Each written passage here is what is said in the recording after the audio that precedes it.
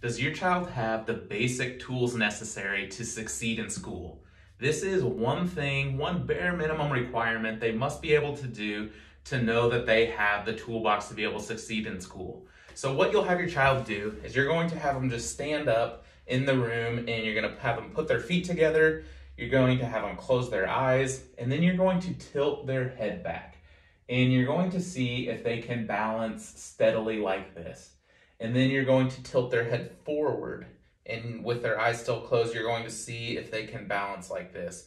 And you can go back and forth a couple times, tilting their head back, looking, tilting their head forward, looking. And what you're seeing is if they have a lot of excessive swaying back and forth when they do that. Also, make sure you're standing very close to them. In case they do actually fall, you want to be able to catch them. But this is one requirement that they should be able to do to know that they have the tools necessary to succeed in school. All right, so what we were testing for there is the tonic labyrinthine reflex. It's abbreviated TLR.